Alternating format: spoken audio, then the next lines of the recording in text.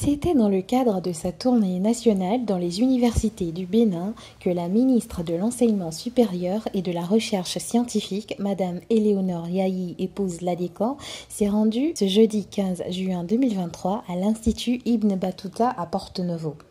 Elle en a également profité pour encourager les étudiants pour leur travail assidu et comme une mère leur a prodigué des conseils pour leur avenir. Tu arrives à couper déjà les tissus et après quand tu coupes, qu'est-ce que tu fais C'est toi-même qui, qui fais la couture. Qu'est-ce que vous proposez à madame comme robe Elle-même étant ancienne professeure chimiste à l'Université publique nationale d'Abomey-Calavi, elle n'a pas manqué de saluer les efforts de la promotrice, le docteur Ouidad Naibi, et son corps administratif pour leur travail acharné abattu dans l'éducation de leurs jeunes étudiants. Responsable de cabinet, euh, messieurs les DGS, messieurs les DEC, euh, les membres de la SEC, le président de la SEC,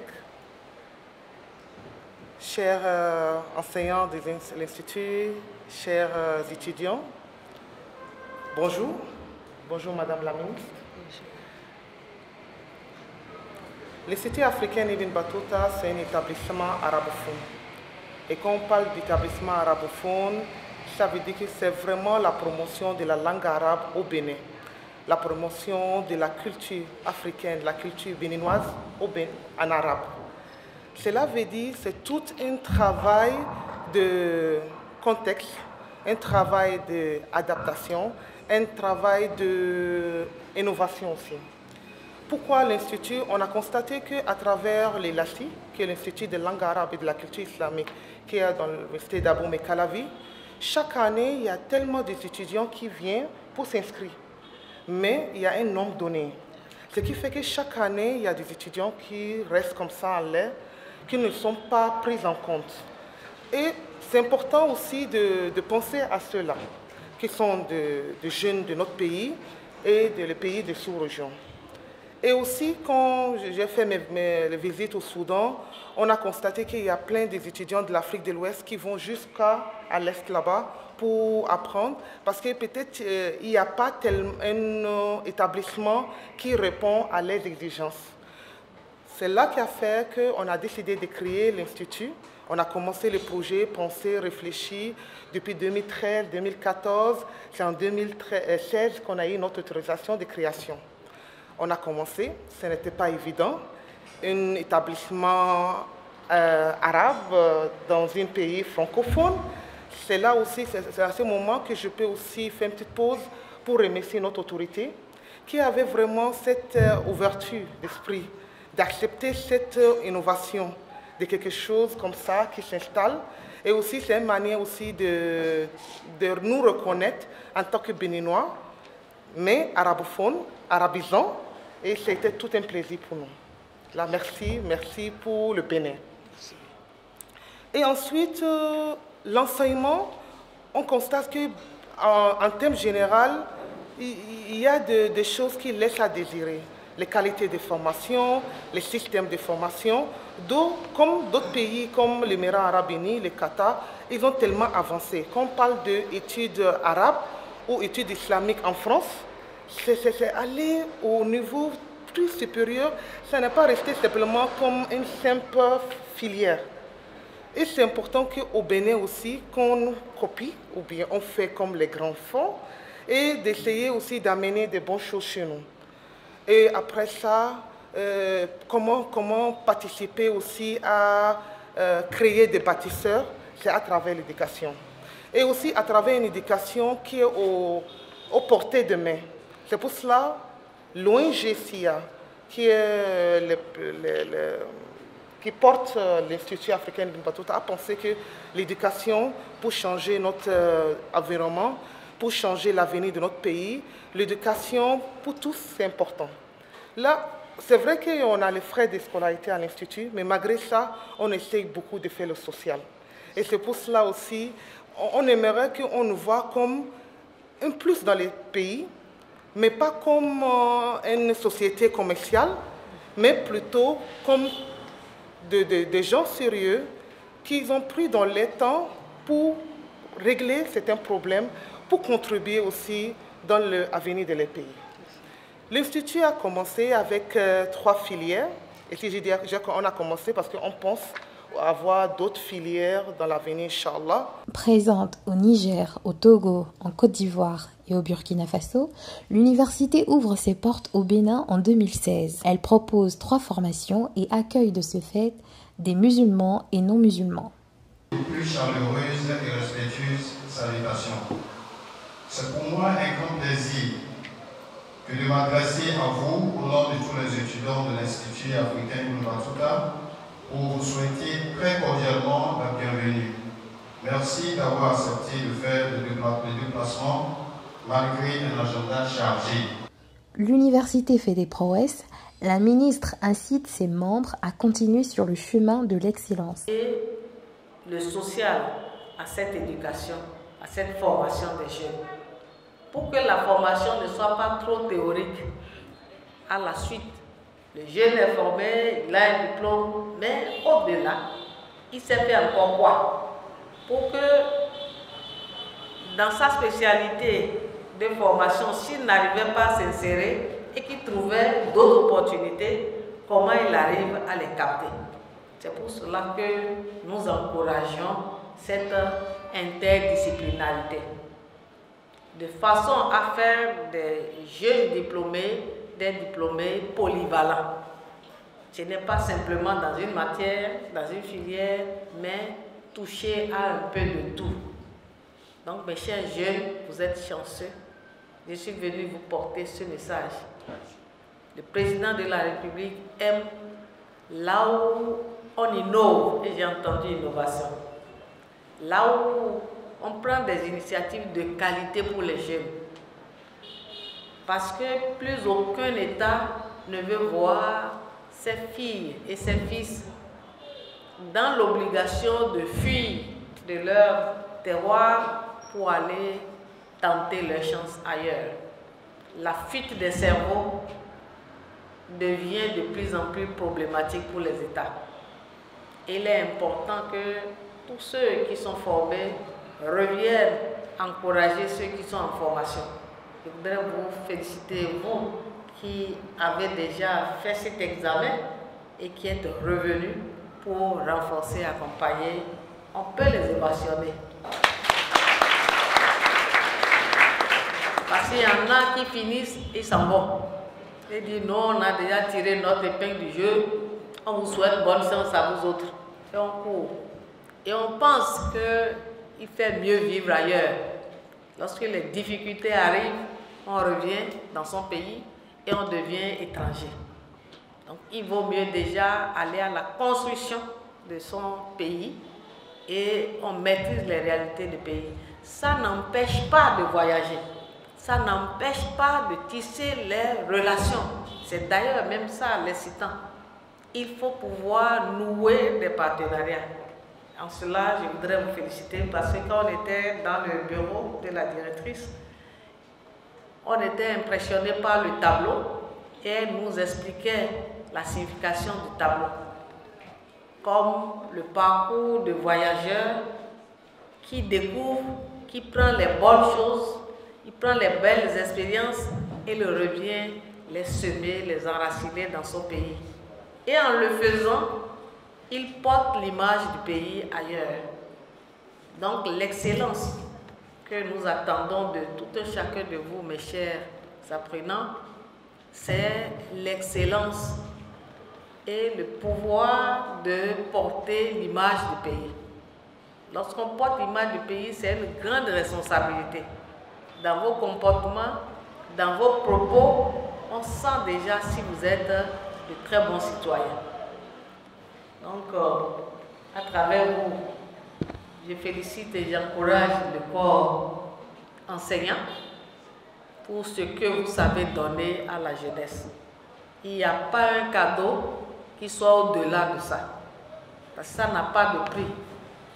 Parce que lorsque vous donnez, eh bien, la richesse que ça produit, c'est ça qui vous porte maintenant toute votre vie. Si nous, nous sommes fiers de nos professeurs, professeurs Aminou et d'autres, M. Gandono qui est ici, le président de ASEC, vous allez voir, au-delà de l'âge, vous avez quelque chose de bon qui les accompagne.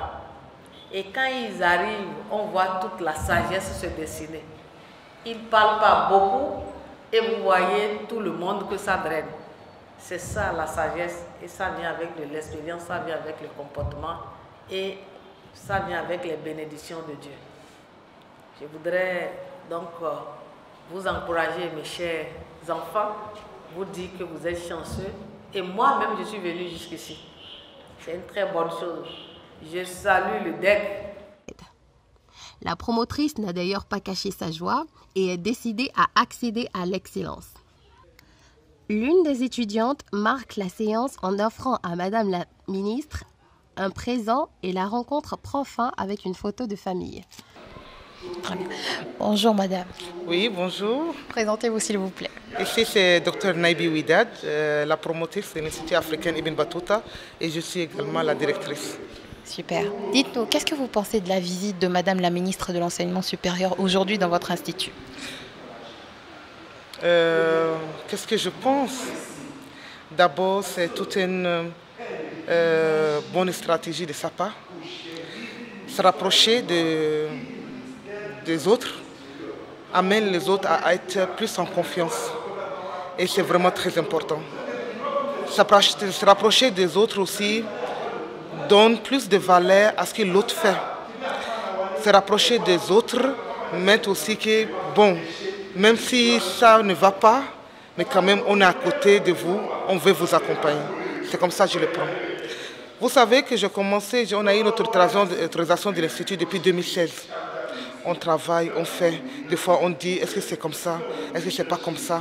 Et on essaye de, faire. Des fois, c'est pas clair. Des fois, on fait, on nous reprend, on dit non, euh, reprenez, c'est pas ci, c'est pas ça. Et c'est en 2026 qu'on va fêter les 10 ans de création de l'Institut. Et dans 2023, elle arrive pour nous dire ce que vous faites, c'est bon, vous pouvez faire encore mieux. Ce que vous faites, voilà, voilà, il y a des lacunes, mais c'est bon, continuez. Ce que vous faites, euh, on voit les étudiants, on voit les résultats, c'est bon, mais faites encore mieux. Vous voyez, c'est important. Euh, c'est comme si vous voyez cette étape qui arrive dans la vie de quelqu'un qui vous dit, ah d'accord, maintenant vous pouvez sauter encore plus haut, plus grand. C'est un peu ça. Et je pense que les femmes ont toujours eu cette, cette manière de gérer mieux. Et c'est pour cela que on dit que la société est faite des hommes et des femmes, tout doit travailler ensemble. Elle, en sa qualité de femme, elle a pu aussi se rapprocher d'une autre manière, une autre approche. Et quand même, l'autre approche, moi je pense beaucoup à ce discours, le manière dont elle parlait. Vous voyez, c'est une manière que je comprends. Je comprends vos souffrances. Je comprends aussi ce que vous faites comme effort. Et j'apprécie. Voilà, ça c'est un mère qui, agit comme ça. Quand l'enfant vient, il dit, bon, je n'ai pas, est-ce que j'ai bien, si bien fait? Mais elle vous dit non. Et elle a toujours les bons mots, les bonnes manières, cette souris qui témoigne, qui, vous réconforte. Et les réformes, c'est normal. On doit tous euh, se mettre aux normes, aux exigences de l'enseignement supérieur. Mais le côté humain, le côté de l'homme, Beto, Eda, c'est ça qu'il faut. Et elle le représente. D'accord. Alors l'Institut Ibn Battuta est spécialisé dans l'apprentissage de la langue arabe et il y a des filles, des garçons et il y a aussi l'apprentissage des... qui a des formations pratiques. On a vu euh, vos étudiants à l'œuvre. Est-ce que, et également, à ce qui paraît, Ibn Battuta prend des étudiants gratuitement dans votre université? On fait beaucoup de social. On essaie d'accorder des bourses d'études euh, on est ouvert, euh, on est en partenariat avec d'autres euh, structures ONG à l'international. Des fois, on trouve des sponsors, des fois, on ne trouve pas. Mais l'idée, pour nous, c'est l'éducation pour tous. Chacun a droit de se former, à continuer ses études. Parce que c'est ça qui est notre vraie richesse au Bénin, c'est former les jeunes. National, mais les bâtisseurs, il faut les faire. Il faut les gens, les patriotes qui contribuent, qui prennent le temps pour former cela. Les formations, on a les formations certifiées, ce que vous avez vu en bas, euh, formation de couture, c'est notre euh, ONG, c'est notre côté social de l'Institut. Même nos étudiants, quand ils font les stages, ils vont former les, les élèves, ils vont regrouper les jeunes pour les former. C'est tout ça là qu'on fait. C'est que l'Institut est une branche académique de l'ONG SIA, qui est Solidarité Islamique Active. Et aussi, à côté, les étudiants, on l'apprend de faire des bénévolats, de faire des, des, humanités, de faire des aides, de, de prendre dans, dans le temps pour faire de bien pour les autres, servir la société, changer la société. D'accord, très bien. Alors, en plus de tout ce que vous faites maintenant, et bien sûr, ça marche, c'est pour ça que la ministre était là ici aujourd'hui, est-ce que vous avez pris de nouvelles stratégies? Est-ce que vous avez de nouvelles stratégies pour pouvoir attirer d'autres étudiants, amener d'autres jeunes à venir s'inscrire ici chez vous et à venir se faire former pour leur futur? Oui, on a fait des, tournées dans certaines euh, écoles euh, secondaires du Nigeria. Bon, ici on parle des écoles franco-arabes ou anglo-arabes au Nigeria et aussi les écoles arabes de Bénin. Et l'Institut aussi s'est ouvert à tout le monde, pas seulement les musulmans. Il y a d'autres qui viennent faire les formations en langue arabe même qui ne sont pas musulmans. On a commencé à faire les tournées. On a pris des équipes qui travaillent sur le Nigeria, au Bénin. Même nos propres étudiants qui ont sorti, ils sont nos agents qui, vont dans les différents sites, différentes écoles pour parler avec d'autres jeunes. On essaye de se rapprocher des différentes associations et aussi euh, toujours les médias, euh, Facebook, euh, TikTok. Mais qu'est-ce qu'on fait à travers les chaînes YouTube ou les TikTok? C'est qu'on envoie des leçons, des messages. Et les gens sont toujours ça ne suffit pas, on veut aller encore se rapprocher, voir encore mieux. Les gens nous appellent plus. Parce que moi, je pense que les services donnés à l'endroit de la société amène les gens à dire, ah, les gens en pensent à nous dans tout ce qu'ils font. Ils font des gratuits, ils nous aident. Là, on veut plus de se rapprocher d'eux. Il y a des gens qui viennent, ils payent. Ils payent malgré qu'on aide beaucoup. Il y a d'autres qui, on l'aide, ils viennent, ils disent non, j'ai trouvé, prenez. Et surtout, on, fait, on met l'accent sur l'éthique et le moral. Parce qu'on ne peut pas changer notre pays si les gens ne savent pas les notions de ce qu'il faut faire et ce qu'il ne faut jamais faire. Euh, docteur euh, Lassisi Bassirou, directeur des études à l'Institut africain Ibn Battuta. Enchanté, monsieur. Alors, dites-nous, en quoi est spécialisée l'université euh, Battuta? L'université africaine Ibn Battuta est une université privée qui donne des formations dans l'enseignement de la langue arabe Ok. qui donne euh, l'enseignement dans le domaine de la langue arabe, des études islamiques, de la traduction et des sciences euh, euh, pédagogiques de l'éducation. En quoi consiste la visite de Madame la ministre de l'Enseignement supérieur aujourd'hui dans votre université? Madame la ministre de l'Enseignement supérieur nous visite aujourd'hui et cette visite, euh, comme euh, euh, elle l'avait fait à d'autres universités privées, c'est pour nous, pour nous c'est un grand plaisir de l'accueillir chez nous. Et cette visite, c'est une visite, bon, de voir qu'est-ce qui se passe ici et qu'est-ce qu'ils font. Et pour nous aussi, ça nous encourage de nous évaluer, de savoir qu'il y a quelque chose, euh, et les gens qui nous suivent derrière, et que nous devons améliorer notre euh, euh, travail. Pourquoi le nom Batuta Ibn Batuta, en fait, c'est un nom et que nous avons choisi pour donner à l'université. Comme chacun avait donné son nom, nous entendons Egisis euh, comme partout, nous avons choisi Ibn Battuta. Ibn Battuta parce que notre formation, c'est une formation en lettres et littérature arabe, la langue arabe. Alors, le mieux, c'est de choisir un nom célèbre de quelqu'un que nous reconnaissons avec euh, euh, ce don de la langue arabe à travers ses écrits sa compétence. C'est pourquoi nous avons donné peut-être l'image, c'est que nos étudiants incarnent l'image de cette personnalité de la langue arabe. Super. Et aujourd'hui, vous formez combien d'étudiants en tout à Ibn Battuta?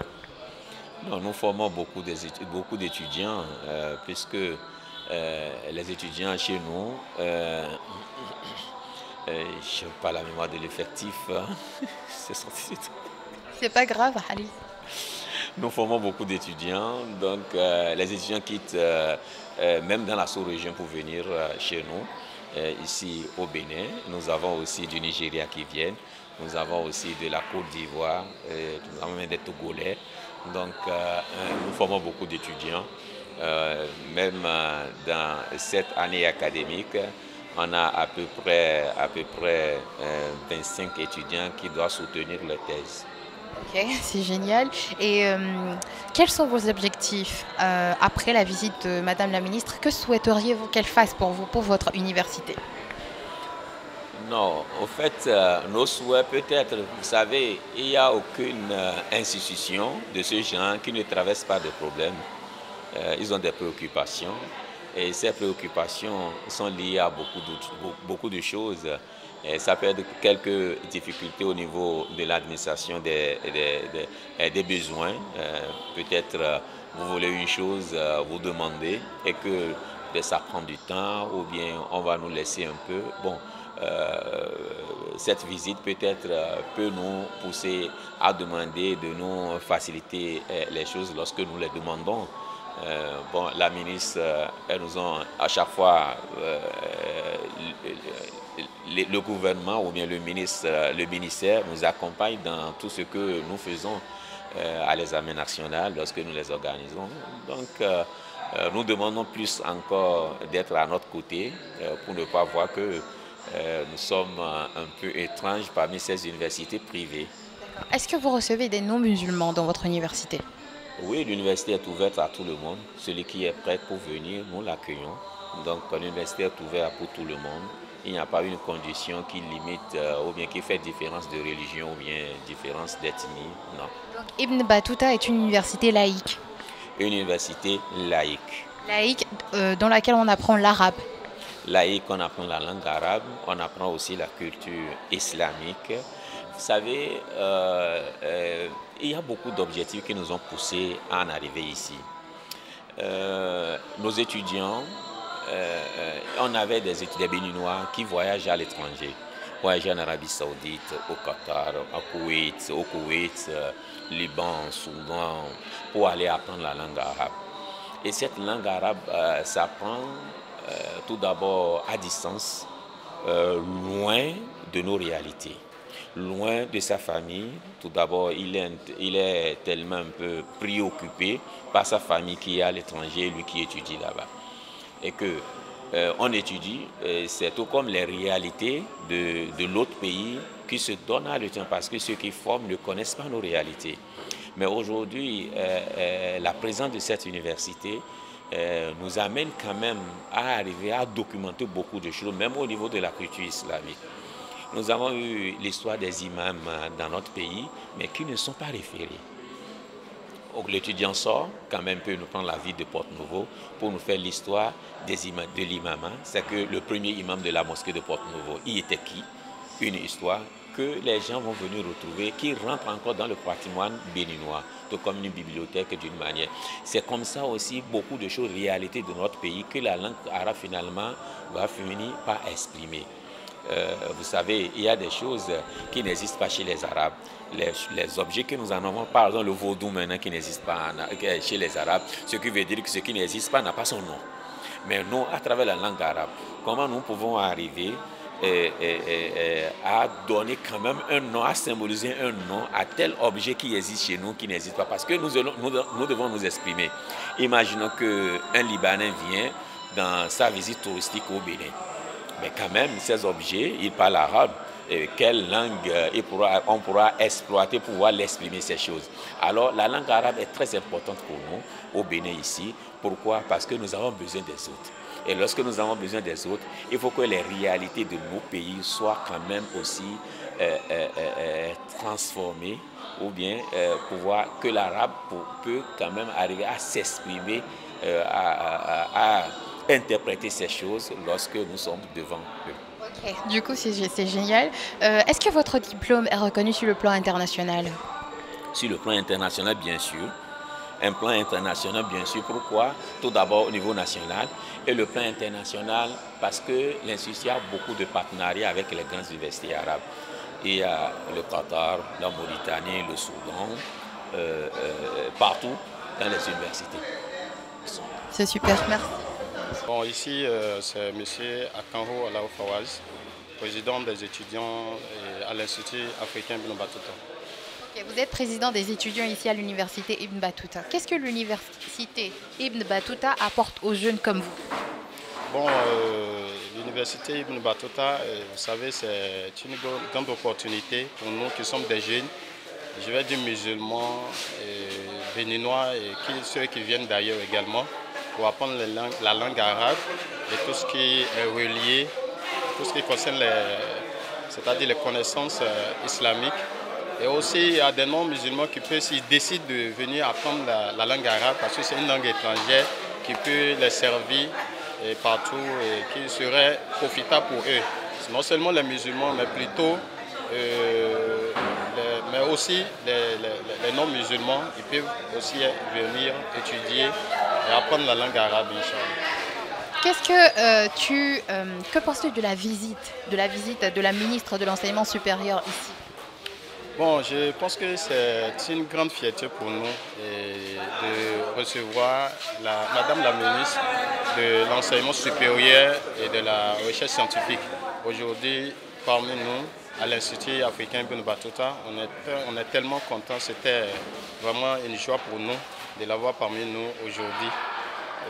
Parce que quoi, vous savez, il y a des gens qui se disent que les centres islamiques ou bien les centres qui, où on étudie, les langues arabes, ce sont des centres qui sont pas considérés. Alors, à travers la visite de, la, de Madame la ministre, nous constatons également que euh, il y a une forte considération pour euh, ce qui concerne les études islamiques également. Voilà, et aussi la langue arabe. Merci beaucoup.